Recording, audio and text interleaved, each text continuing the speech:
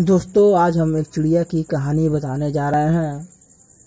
दोस्तों, गर्मी का मौसम था और जंगल में किसी कारणवश आग लग गई। जंगल में जो भी जीव जंतु पक्षी, जो भी जानवर थे, वे सभी जंगल छोड़कर भागने लगे, क्योंकि आग की लपटें बहुत तेज़ी से फैल रही थीं और सभी जानवर, सभी जीव जंतु अपने प्राणों को बचाने के लिए जंगल से दूर भागने लगे। उसी दौरान एक छोटी सी चिड़िया ने देखा कि जंगल में आग लग गई है और वह जंगल के बगल में एक तालाब था और उसी तालाब से अपने चोच में पानी ला कर जंगल के ऊपर गिराने लगी। जंगल की आग को बुझाने का प्रयास करने लगी।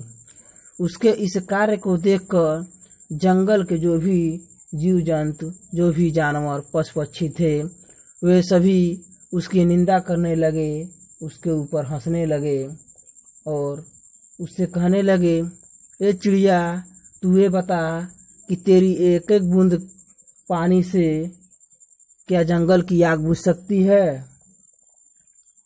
आग बुझाना तो दूर है। कहीं आग की लपटें लग गई तो तुम्हारा जीवन इस संकट में पड़ जाएगा। तुम खुद जलकर भस्म हो जाओगी।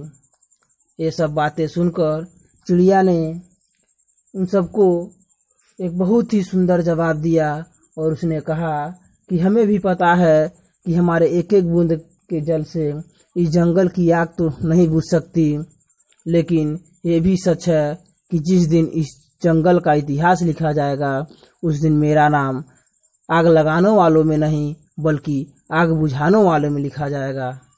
ये सब बातें सुनकर जो भी जंगल के जीव जंतु थे वे सब